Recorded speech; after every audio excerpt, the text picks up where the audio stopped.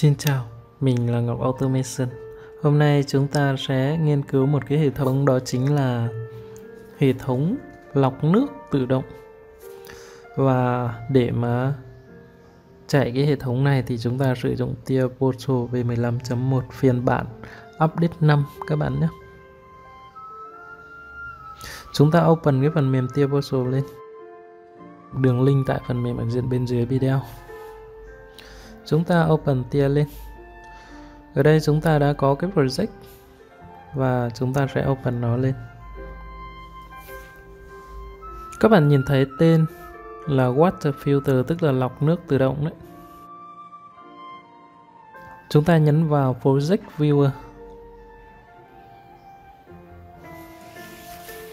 Sau đó ở mục PLC thì chúng ta sẽ mở cái main program lên tức là cái khối chương trình main đấy. Mục đích là để chạy mô phỏng, chạy bằng PLC stream. Bây giờ chúng ta sẽ nhấn vào cái nút Start Simulation này. Sau đó nhấn OK. Lúc này hệ thống sẽ xuất hiện một con PLC ảo. Và con có cái PLC ảo này thì chúng ta không cần PLC thực nữa. Mà chúng ta chỉ cần con này là được, có thể mô phỏng để mà kiểm tra chương trình được rồi. Bây giờ chúng ta nhấn nút load tức là load chương trình xuống PLC đấy. Và chúng ta chọn Start Main Module, sau đó nhấn Finish. Lúc này thì PLC đã ở trạng thái run và chương trình của chúng ta đã chạy online được rồi. Bây giờ chúng ta sẽ chuyển sang cái PLC, uh, à, PC system tức là cái WinGC, cái SCADA ở trên máy tính.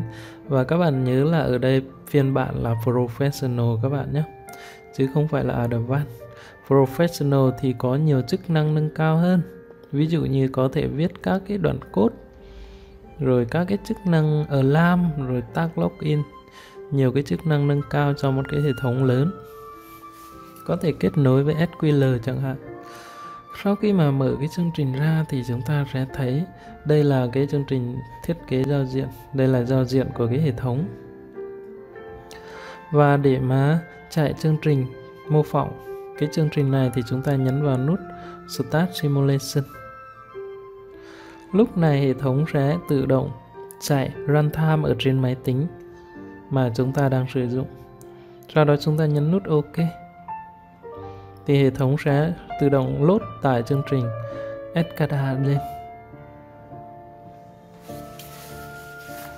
Các bạn có thể vào trang web ngocautomation.com để học và để có thể là tải được các cái phần mềm mà các bạn cần thiết. Rất nhiều phần mềm tự động hóa có ở trong trên trang web và các cái bài giảng về tự động hóa, về SCADA và PLC. Ngoài ra thì còn có các cái project mẫu cho các bạn tham khảo. Các cái video training rồi các cái hướng dẫn sửa lỗi tất cả về tự động hóa đều cập nhật ở trên trang web ngocautomation.com sau khi chạy runtime thì à, chúng ta sẽ thấy đây chính là cái hệ thống lọc nước và mình xin giới thiệu qua về cái hệ thống này. Thứ nhất ở cái bồn nước thô, tức là bồn nước bơm từ nước sông lên thì chúng ta sẽ có hai cái bơm. Và tùy vào mức nước thì hai cái bơm này sẽ à, vận hành theo chế độ tự động. Ví dụ như lớn hơn 9000 thì hai bơm này dừng và nhỏ hơn 9000 thì hai bơm này chạy. Và ngoài ra thì còn có một cái bồn nước là bồn nước sạch sau khi mà lọc qua cái hệ thống lọc này. Thì bồn nước sạch này khi mà ở cái mức nước thấp và cái mực nước ở cái bồn này ở mức cao thì cái động cơ này sẽ chạy, cái động cơ bơm này sẽ bơm nước từ cái bồn này qua cái hệ thống lọc để rồi đưa vào cái bồn nước thô ẩn bồn nước sạch. Động cơ này chạy, động cơ bơm này chạy 10 giây thì bơm này sẽ chạy. Sau đó là từ bơm này sẽ qua cái hai cái hệ thống lọc thô và lọc tinh này thì chúng ta sẽ có được một cái bồn nước sạch. Và ở đây có các cái van vận hành theo cái bơm. Và hai cái bơm này nó sẽ bơm đi các cái hộ sử dụng. Ở đây có các cái van. Thì hai cái bơm này làm việc khi nào? Khi mà mức nước ở trong bồn lớn hơn, giá trị là 9.000 tương tự cái này cũng tương tự 9.000 và hệ thống của chúng ta sẽ có hai cái chế độ vận hành. Đó chính là chế độ auto và chế độ menu ở chế độ menu thì chúng ta nhấn nút menu. Trước hết là chúng ta sẽ nhấn start. Sau đó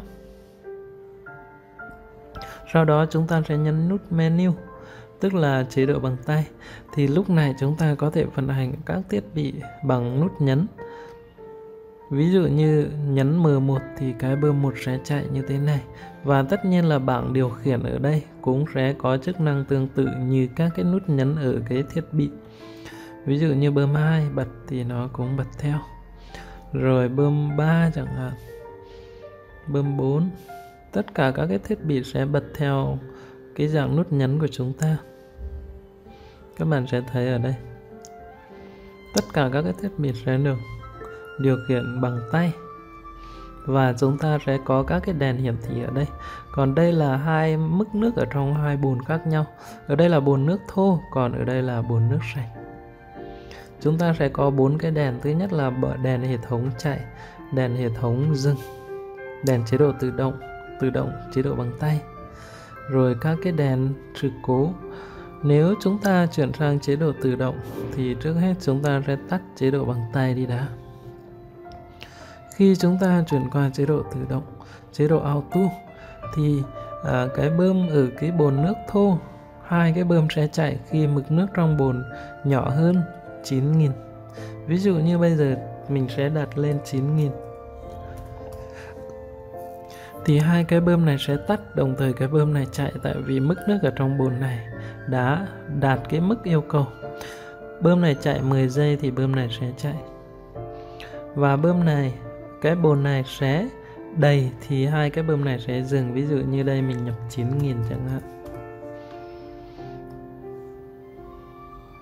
Thì hai cái bơm này sẽ dừng theo thứ tự. Cái bơm này sẽ dừng trước. Sau đó sau bao nhiêu giây thì cái bơm một nó sẽ dừng.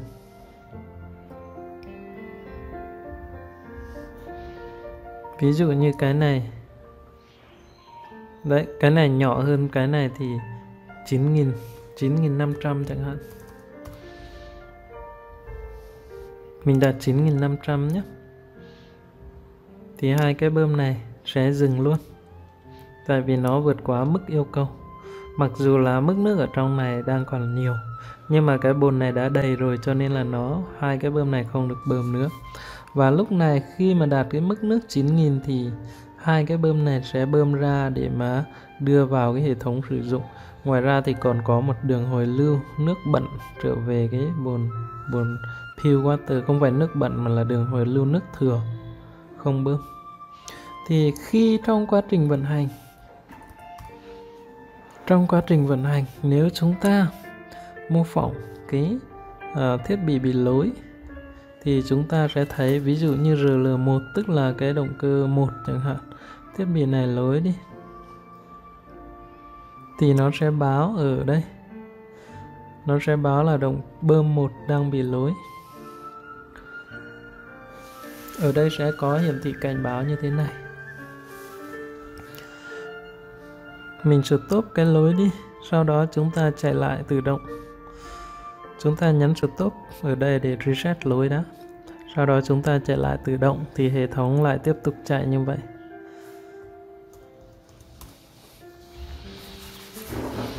Đây chính là cái hệ thống tự động, lọc nước tự động. Qua cái hệ thống này thì chúng ta thấy được là các cái bơm nó sẽ vận hành một cách tuần hoàn theo hệ thống. Và cái phải chạy thì ở bên dưới video. Cảm ơn các bạn đã lắng nghe và theo dõi. Xin chào.